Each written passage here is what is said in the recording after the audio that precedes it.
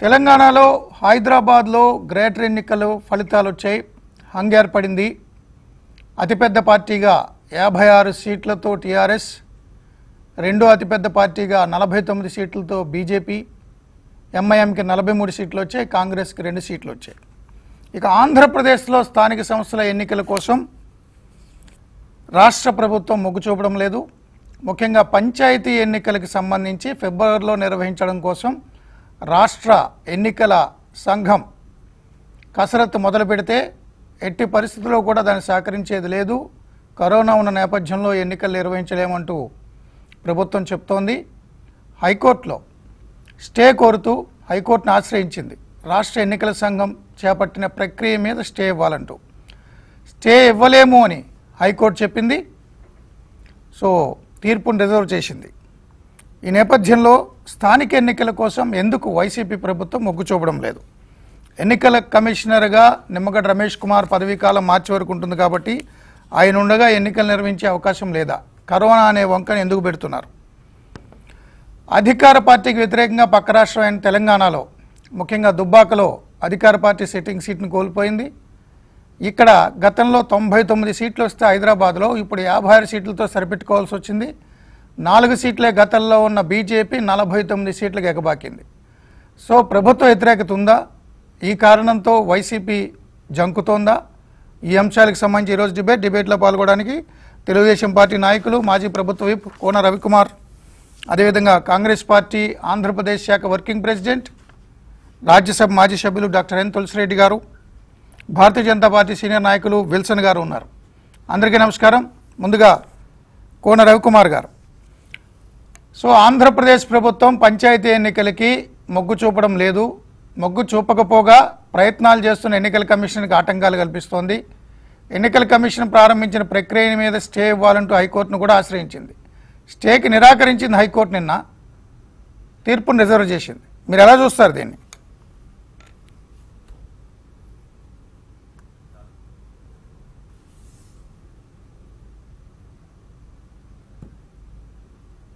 రవి గారు నా వాయిస్ వినిపించిందా?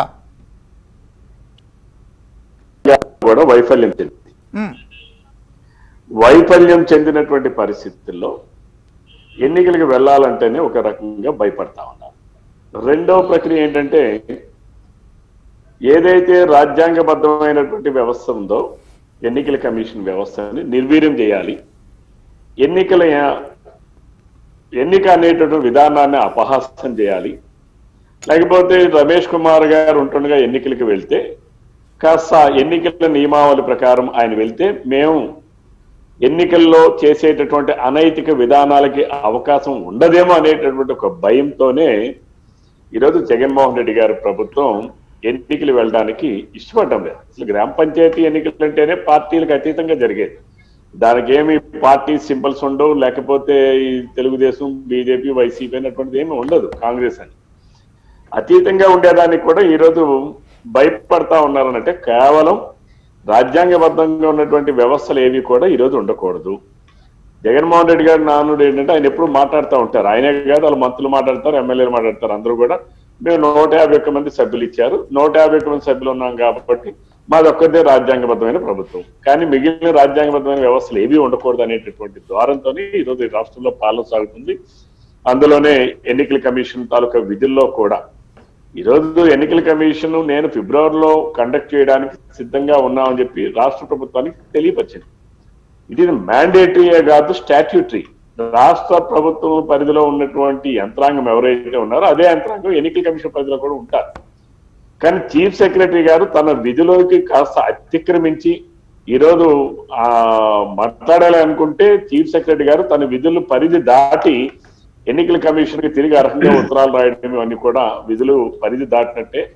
అయినా సరే ఇప్పుడు అది కోర్టులో ఉంది కాబట్టి ప్రభుత్వం కోర్టుకి వెళ్ళడం ఎన్నికలు నిర్వహణ చేయమని ఎవరైనా చెప్తారు. ఈవెన్ కోర్టు హైకోర్టులు కూడా సుప్రీంకోర్టులు కూడా గతంలో తొందరగా ఎన్నికలు నిర్వహించండి అని చెప్తేనే ఆనాడు ఎన్నికల కమిషన్ నోటిఫికేషన్ ఇవ్వడం ప్రక్రియ అంతా పంచాయతీ ఎన్నికలు నిర్వహించాలని ప్రయత్నం చేస్తే ఎన్నికల కమిషన్ దాని మీద స్టే కోరుతూ ప్రభుత్వం హైకోర్టును ఆశ్రయించింది.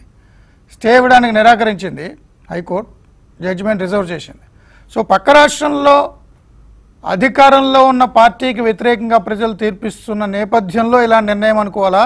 లేదా నిమ్మగడ్డ రమేష్ కుమార్ ఉండగా ఎన్నికలు నిర్వహించకూడదని డిసైడ్ అయిందా?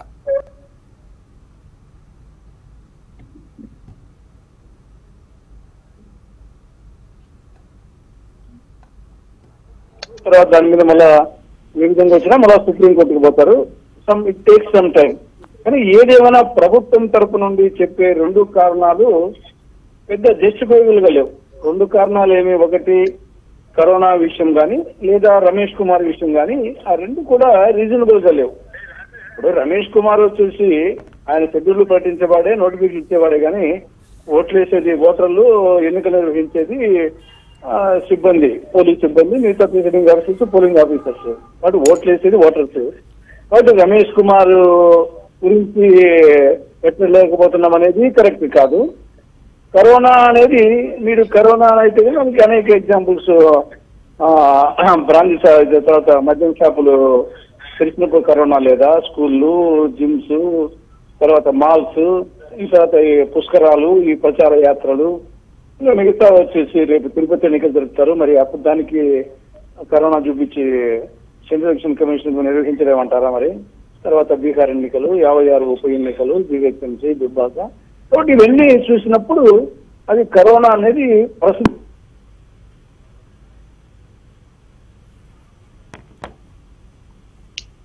సార్.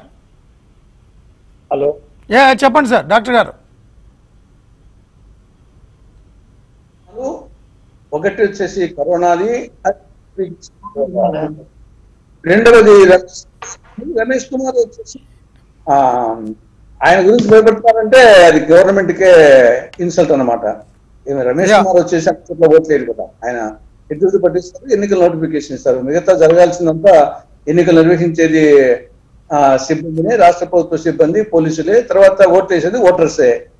కాబట్టి ఇక్కడ ఓటర్స్ కానీ వ్యతిరేకత వచ్చింది అనేది మెయిన్గా వాళ్ళకు అది కారణం తప్ప మిగతా అన్ని ఎన్ని కేవలము సాకు అనేది నా అభిప్రాయం. ఓటర్స్లో వ్యతిరేకత అనేది లాస్ట్ మార్పు ఇప్పటికి ఇప్పటికి గణనీయమైన మార్పు వచ్చింది అనేది వాళ్ళకే అర్థమైపోతుంది. గవర్నమెంట్కి వచ్చేసి అటు రైతుల్లో వ్యతిరేకత ఉద్యోగస్తుల్లో వ్యతిరేకత ఈ యొక్క ధరలు పెరగడము తర్వాత అమరావతి విషయము ఈ పోలవరం విషయము అని కొన్ని కొన్ని కొన్ని సెక్షన్స్ నే ప్రభావితం చేసేది. ప్రధానంగా రైతుల్లో వచ్చేసి వ్యతిరేకత తీవ్రస్థాయి ఎస్ సార్ విల్సన్ గారు? హలో?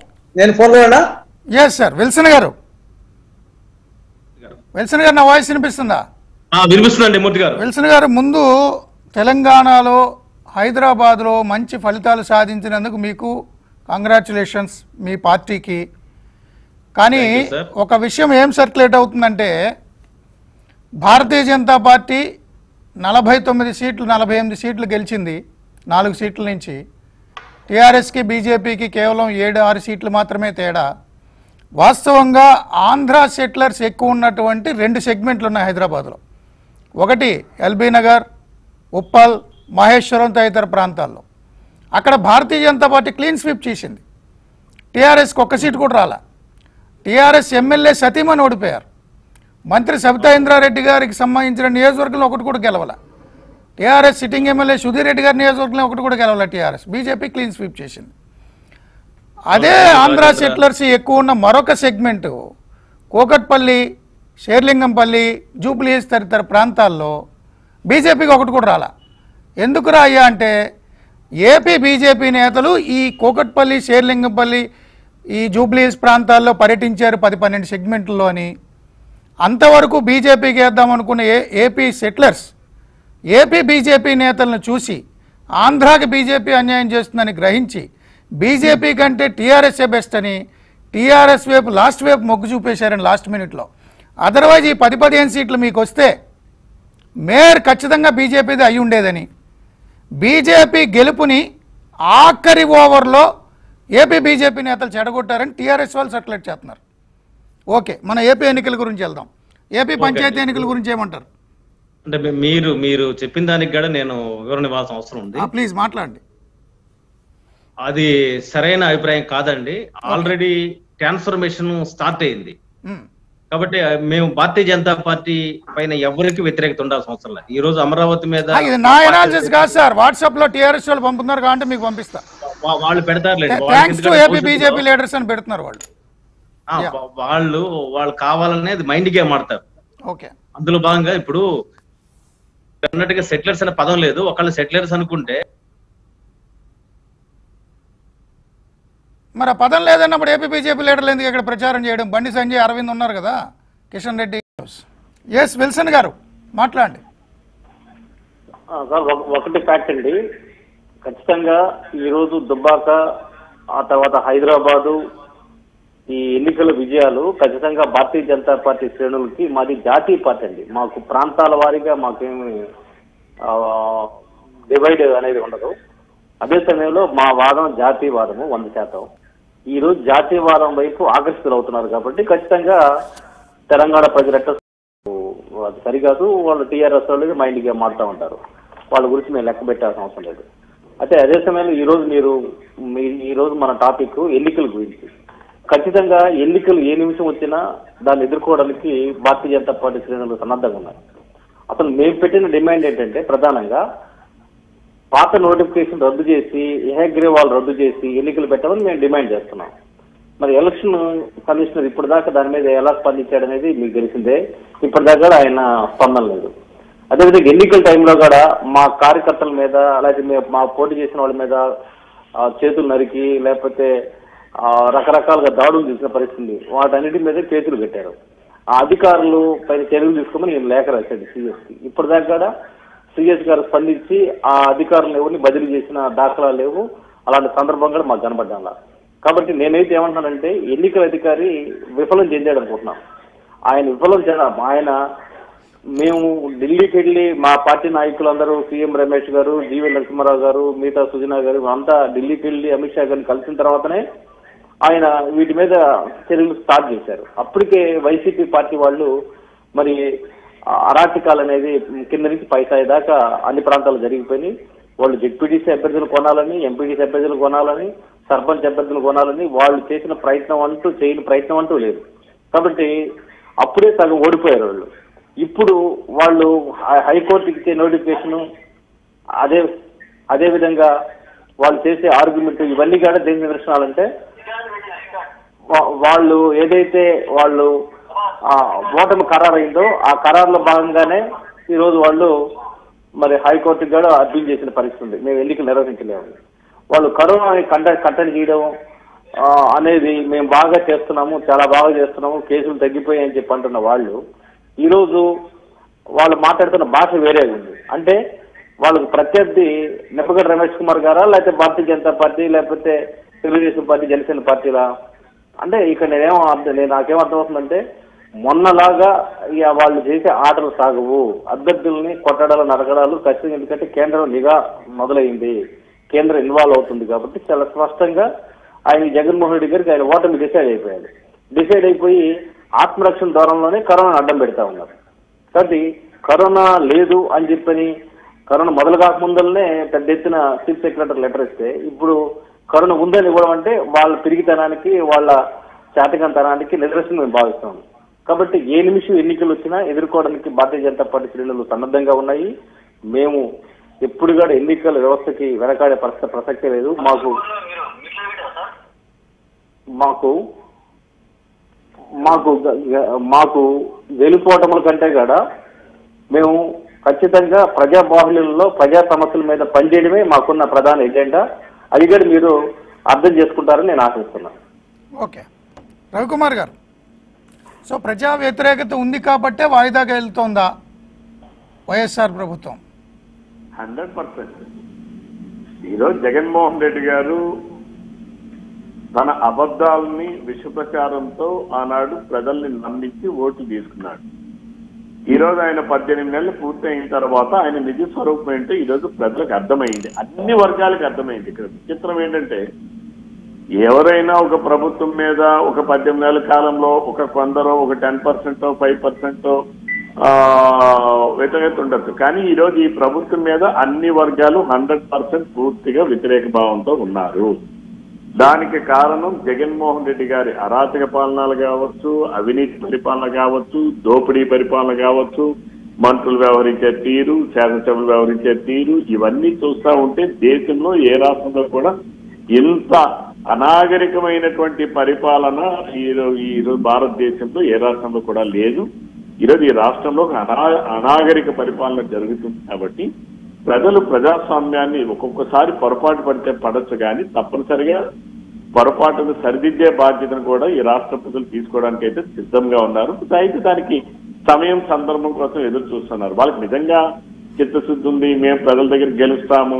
మేము ఎటువంటి మేము ఇన్ని చేశాం అని చేశాం సంక్షేమం చేశాం అరవై ఏడు వేల కోట్లు ఇచ్చామని చెప్పి మాట్లాడుతూ ఉన్నారు. అరవై ఏడు వేల కోట్లు ఏంటి? అందరం కూడా ఇచ్చాం. నువ్వు అభివృద్ధి అనేది మానేసి అప్పులు చేసి ధరలు విపరీతంగా అన్ని పెంచి ఈ వచ్చిన ఆదాయం అప్పులతో వచ్చిన ఆదాయం ఈ రాష్ట్రానికి వచ్చిన ఆదాయం ఏం చేస్తా ఉన్నారు?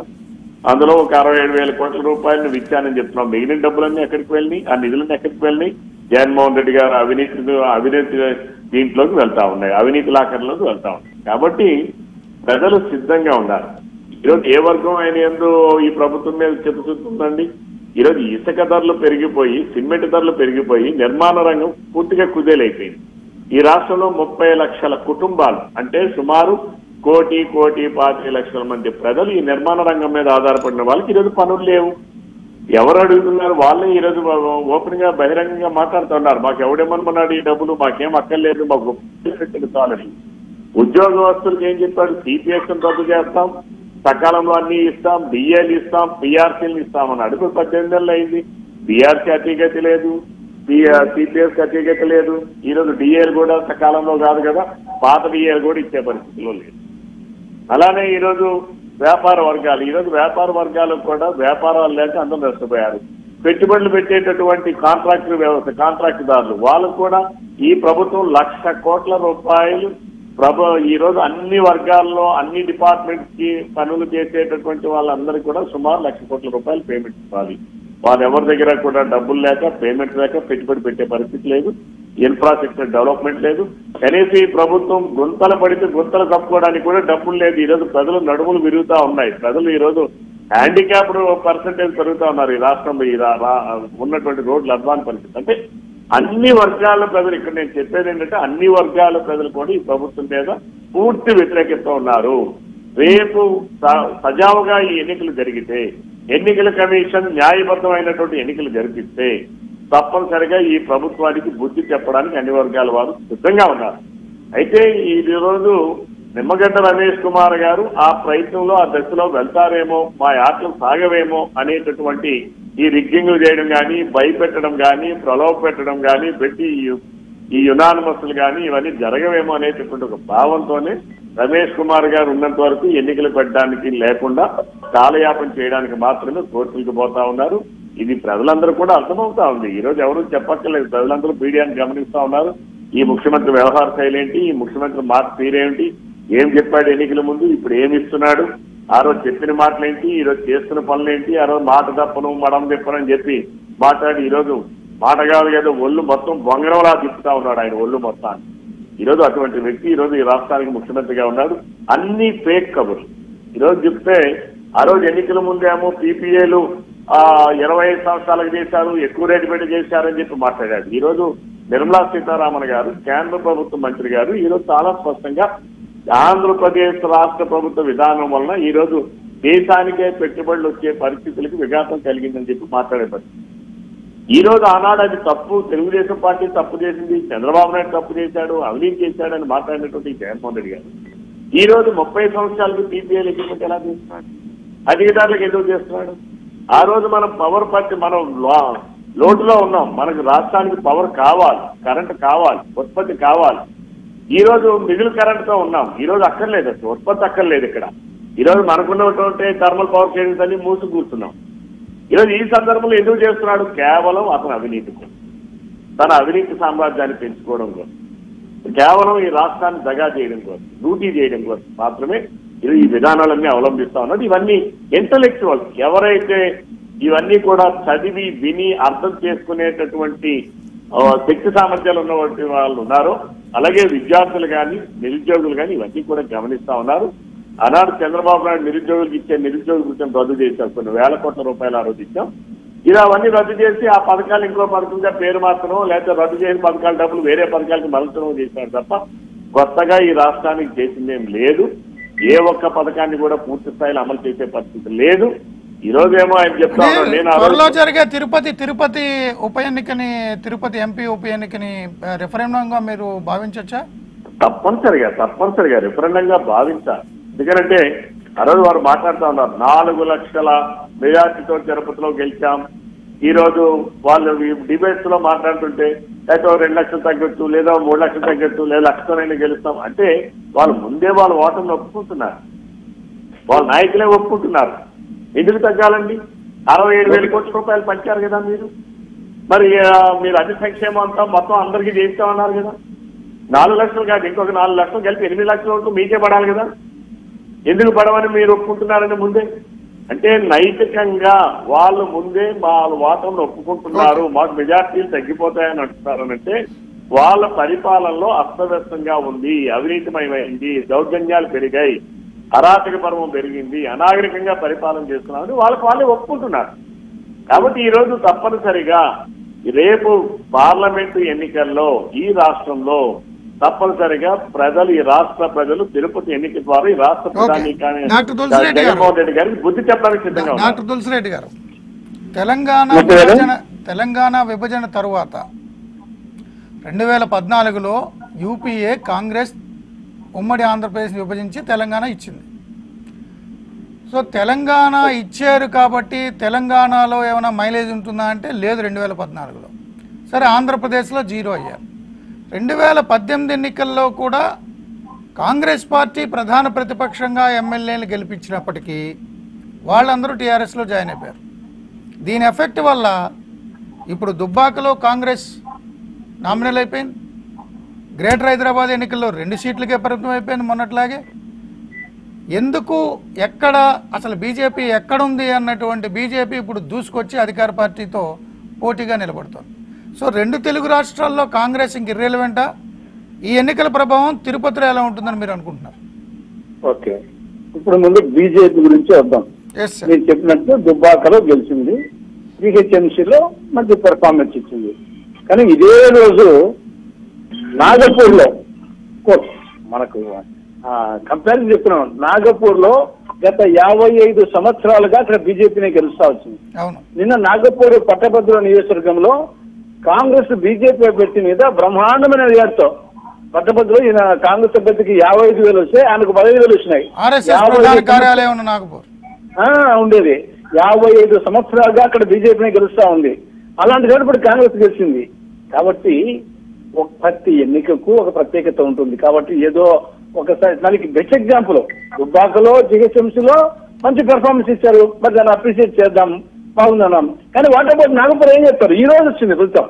వాళ్ళ headquarters RSS headquarters ఉండే ప్రాంతం యాభై ఐదు సంవత్సరాలుగా అక్కడ బీజేపీనే గెలుస్తా ఉంది. కాబట్టి ఇవన్నీ ప్రతి ఎన్నికకు ఆ, అనేక కారణాలు ఉంటాయి. ఇక్కడ నాకు తెలిసి ఇక్కడ ఆంధ్రప్రదేశ్లో ఆ, వైఎస్ఆర్ పార్టీకి మార్చి డిసెంబర్ మధ్య విపరీతమైన తేడా వచ్చింది. మార్చిలో ఎన్నికలు నోటిఫికేషన్ ఇచ్చినప్పటికీ ఇప్పటికీ వ్యతిరేకత ఆ, అనూహ్యంగా పెరిగింది. రైతులు రగిలిపోతున్నారు మహిళలు మండిపోతున్నారు ఉద్యోగులు ఉడికిపోతున్నారు యువత ఊగిపోతా ఉంది విద్యార్థులు విసుగుతూ ఉన్నారు. దీనికి ఊరికే చెప్పడంలా రైతులు ఎందుకు రగిలిపోతున్నారంటే ఒక కారణం కాదు. ఈ యొక్క కరోనా నేపథ్యంలో మార్కెటింగ్ సౌకర్యం లేక రవాణా సౌకర్యం లేక మొత్తము హార్టికల్చర్ పులివెండ నియోజకవర్గంలోనే అరటి అరటి తోటలు చీనీ తోటలు వీళ్ళు విపరీతంగా పండి పొలాల తోటల్లోనే వచ్చేసి కింద పడిపోయినాయి. రవాణా సౌకర్యం లేదు మార్కెటింగ్ సౌకర్యం లేదు. దాని తర్వాత మళ్ళీ వచ్చామంటే ఈ లోపల మళ్ళీ అతివృష్టి వరదలు. దాంతో మళ్ళీ విపరీతంగా. ఇంకా దానికి తోడు ఈ మీటర్లు వచ్చేసి ఉచిత విద్యుత్ సరఫరా ఎత్తివేయడానికి మీటర్లు బిగిస్తున్నారు అనేది ప్రజల్లో వచ్చేసి మాకంటే ముందు వాళ్ళు చెప్తున్నారు. ఇది అయ్యేది కాదు పోయేది కాదు ఆ, వీళ్ళేమో అమౌంట్ వేస్తామంటారు ఇది అయ్యేదే సచ్చేదే ఆ, వేసేది వచ్చేసి మళ్ళీ ఎందుకు ఉచితంగానే ఇవ్వచ్చు కదా? ఈ మీటర్లు ఎందుకు అనేది రైతుల ముందు చెప్తున్నారు. కాబట్టి రైతుల్లో విపరీతమైన వ్యతిరేకత. మెజార్టీ ఓటర్స్ వాళ్ళు. మహిళలు వచ్చేసి కొంత నేను చెప్పేదాన్ని కాంట్రాక్ట్ చేయించుకున్నారు మహిళలకు వచ్చేసి ఆసరా ఇస్తున్నారు కదా చేయిత ఇస్తున్నారు కదా అమ్మఒడి ఇస్తున్నారు కదా మరి మంచిగా ఉండాలి కదా అనేది. వాటి వరకు మంచిగానే ఉంది. కానీ అమ్మ ఒడి ఆసరా చేయూత ప్లస్ అన్ని కలిసి నాన్న బుడ్డికి సరిపోవడంలా. ఈ కుటుంబాల్లో చాలా మంది వాళ్ళ డ్రంకర్స్ ఉంటారు. గతంలో నూట యాభై రూపాయలకు తాగేవాడు ఇప్పుడు అదే మత్తు కావాలంటే మూడు వందలు పెట్టాల్సి వస్తుంది. అంటే రోజుకు నూట యాభై నెలకు నాలుగు వేల ఐదు వందలు సంవత్సరానికి యాభై నాలుగు వేలు. వీళ్ళు ఇచ్చేది అమ్మఒడి కింద పదహైదు వేలు చేయిత కింద పద్దెనిమిది వేల ఏడు వందల యాభై ఆసరా కింద ఒక పదివేలు మొత్తం వచ్చేసి నలభై నలభై మూడు వేలు అది అన్ని కుటుంబాలకు రాదు. కానీ అక్కడ వచ్చేసి ఒక్క తాగుబోతు ఒక్క క్వార్టర్ రోజు చేసుకుంటే యాభై నాలుగు వేలు అవుతుంది. కాబట్టి వాళ్ళే అంటున్నారు ఏం ప్రయోజనం వచ్చేసి మాకు అమ్మఒడి ఇచ్చే ప్రయోజనము ఆసరా ఇచ్చేం ప్రయోజనము చేతి ప్రయోజనము మా మొగుడేమో మా ఇంట్లో వాళ్ళేమో వచ్చేసి ఆ మమ్మల్ని తని తీసిపోతున్నారు ఆ చాలకి మా తాళి కూడా తెంపేస్తున్నారు అని కాబట్టి అందుకోసం మహిళలు మండిపోతున్నారు. ఇంకా ఉద్యోగస్తులు వచ్చే రవికుమార్ గారు చెప్పినట్లు వాళ్ళకి వచ్చేసి ఇంకా మార్చి ఏప్రిల్ నుంచి జీతాలకే నానావస్థలు పడుతున్నారు. డిఏలు సిపిఎస్ రద్దు తర్వాత పిఆర్ చెమలు యువతకు వచ్చేసి వాళ్ళకి ఉద్యోగాల క్యాలెండర్ అని చెప్పారు. ఉద్యోగాలు లేవు ఏం లేవు. కాబట్టి సమానంగా మిగతా ఎస్సీ ఎస్టీ బీసీ మైనారిటీ అంటే ఆ కార్పొరేషన్లు ఏదో పదవులు కొంతమందికి ఇచ్చారు తప్ప మెజారిటీ ప్రజలకు వచ్చేసి కార్పొరేషన్ నిధులు లేవు. గతంలో వచ్చేసి భూమి కొనుగోలు స్కీమ్స్ ఉండేటి తర్వాత వచ్చేసి స్వయం ఉపాధి పథకాలు ఉండేటి తర్వాత విదేశీ విద్య ఇలా అంటే అనేక పథకాలు ఈ యొక్క SC ST BC minority corporations carp corporations వల్ల ఉండే మొత్తం స్కీమ్స్ అన్ని నిర్వీర్యమై అవి వచ్చేసి ఒక ఉచ్చగ్రహాలుగా ఉండిపోయినాయి. అది ఆ వర్గాల్లో వీళ్ళు అనుకుంటున్నారు వచ్చేసి మేము అది ఇచ్చాము ఇది ఇచ్చామని చెప్పేసి. కానీ దానికంటే పదంతలు ఈ విధంగా నష్టపోయారు కాబట్టి సమాజంలోని అన్ని వర్గాల్లో వచ్చేసి వ్యతిరేకత ఉంది కాబట్టి ఆ భయం అవుతుంది రెండవది రమేష్ కుమార్ ఆయన ఏదో ఓట్లను రేపు వచ్చేసి ఏపిస్తాను కాదు కానీ ఆయన ఉన్నప్పుడు ఎన్నికలు నోటిఫికేషన్ ఏకగ్రీవాలు వచ్చేసి రద్దు చేసి మళ్ళా ప్రెస్ నోటిఫికేషన్ ఇస్తాడేమో అని భయం ఉంది. ఆ ఏకగ్రీవాలు చాలా మటుకు వచ్చేసి మన మార్చిలో కొన్ని ఆల్మోస్ట్ అన్ని జిల్లాలో అంత ఇంత వచ్చాయి కడుపులో ఎక్కువ వచ్చినాయి కానీ అవన్నీ రద్దు చేస్తాడేమో వన్స్ ఎన్నికల నోటిఫికేషన్ మొదలైతే రద్దు చేసి ప్రెస్ నోటిఫికేషన్ ఇస్తాడేమో భయం వెంటాడుతుంది. కాబట్టి ఓటమి భయమో రెండు రమేష్ కుమార్ వచ్చేసి ఓడిస్తాను కాదు రమేష్ కుమార్ వచ్చేసి ఏకగ్రీవ రద్దు చేసి భయం వెంటాడుతా ఉంది అది వైఎస్ఆర్ పార్టీకి సంబంధించి అంతే తప్ప ఏదో బీజేపీ వాళ్ళు చెప్పినట్లు దుబ్బాకు జీహెచ్ఎంసీనో ఇక్కడ ఏ హోదా ఏమి రాజధాని రాజధాని విషయం ఏం చెప్తారు? పోలవరం ఏం చెప్తారు? హోదా ఏం చెప్తారు? కానీ బీజేపీ వాళ్ళకు తెలంగాణలో వచ్చేసి ఆ పరిస్థితి లేదు. ఇక్కడ అంటే డాక్టర్ గారు, డాక్టర్ గారు. ఆంధ్రప్రదేశ్ బీజేపీ నాయకులు పర్యటించిన చోట అన్ని చోట్ల బీజేపీ ఓడిపోయింది హైదరాబాద్ ఎన్నికల్లో అని. టిఆర్ఎస్ వాళ్ళు రేపు ఆంధ్ర బీజేపీ నాయకులు క్యాంపెయిన్ కనుక రాకపోతే పది పదిహేను సీట్లు ఎక్కువ గెలిచేవాళ్ళం మేయర్ వచ్చేది అనేది వాదన. రేపు ఇదే పరిస్థితి బీజేపీకి.